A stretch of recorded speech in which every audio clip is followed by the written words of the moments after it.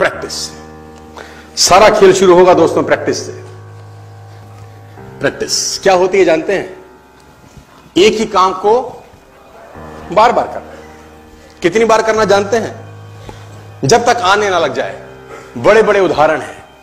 Australia India के match में Brad Hogg ने सचिन तेंदुलकर को बोल्ड मार दिया। मेरी बात ध्यान से सुनिएगा।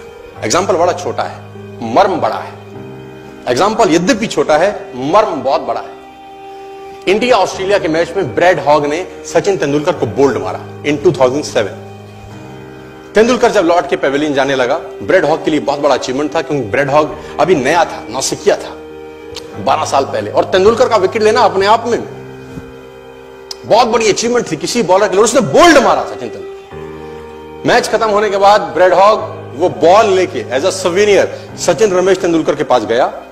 और उसने तेंदुलकर को बोला, सर, आप इस पे ऑटोग्राफ दीजिए, मेरी ज़िंदगी का बहुत सुनहरा दिन है आज, कि आज मैंने आपको बोल्ड किया है, सर. बड़ी खुशी खुशी में वो बॉल लेके गया, एक ऑनर के साथ, और तेंदुलकर ने उसके ऊपर लिखा, ये दिन तेरी ज़िंदगी में फिर कभी नहीं आएगा। ये दिन तेरी ज़िंदगी में फिर कभी नहीं आएगा। और मैं आपकी जानकारी के लिए बता दूँ, जब तक ब्रेड हॉग और तेंदुलकर इसके बाद खेले, कम से कम 30-35 एनकाउंटर हुए उनके। टेस्ट मैच में, वनडे में टी ट्वेंटी में इवन आईपीएल के अंदर ब्रेड हॉग तेंदुलकर की विकेट नहीं ले सका सर ब्रेड हॉग तेंदुलकर की विकेट नहीं ले सका। मैं एक कहानी आपको क्यों सुना रहा हूँ? मैं आपको कहानी ये इसलिए सुना रहा हूँ कि उसने जब बॉल पे लिख दिया होगा ना कि ये क्षण तेरी ज़िंदगी में फिर नहीं आएगा, ये जाने के बाद वो बियर नहीं पी रहा होगा पॉपकॉर्न नहीं खा रहा होगा बर्गर सैंडविच डोसा नहीं खा रहा होगा, एक चीज़ कर रहा होगा। क्या कॉन्फिडेंस रहा होगा एक लाइन लिखने के बाद? लिख दिया, अब उसको प्रूफ करना है, उस जैसा बन जा। उस लाइन को प्रूफ करने लायक बनना है उसको। कितनी प्रैक्टिस करी होगी कि इज़्ज़त खराब ना हो जाए। आज आप लिख दो।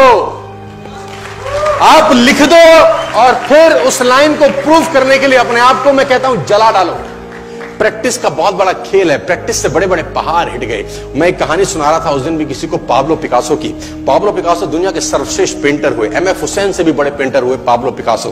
Pablo Picasso New York में एक स्ट्रीट में घूम रहे थे तो एक लेडी उनसे टकराई। उस लेडी ने पहचान लिया यू आर पाब्लो पिकासो। मैंने आपको पहचान लिया। भागी भागी गई, एक पेपर लेके आई और पाब्लो के हाथ में दिया सर आप एक बहुत बड़े पेंटर हैं। Can you draw something for me क्या तुम मेरे लिए कुछ स्केच ड्रॉ कर सकते हो? उसने एक पेपर लिया, एक पेंसिल लिया और कुछ स्केच ड्रॉ किया। उस लेडी के हाथ में तीस सेकंड में पलट पलट के दिया उसने, बोला lady this is for you this is painting worth fifty lakh rupees this painting cost fifty lakh rupees lady को तो विश्वास ही नहीं हुआ कि how a person paint a painting in just thirty seconds worth rupees fifty lakhs तो वो lady गई, तीन चार जगह से उसका रेट पता किया। उसने बोला it's a Pablo Picasso painting ma'am उसने बोला yes it's a Pablo Picasso painting कितने का खरीदोगे?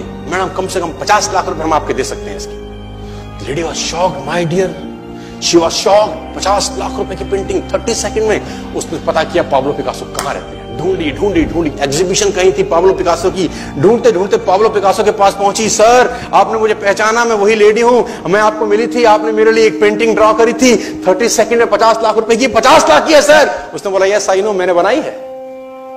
उसने बोला, सर, मैं सीखना चाहती हूँ। तीस सेकंड में पचास लाख की पेंटिंग कैसे बनाई जाती पाब्लो ने कहा, लुक, मैम, जो पेंटिंग आपने तीस सेकंड में पचास लाख की बनी हुई देखी, उसको बनाने के लिए मुझे तीस साल लग गए तीस साल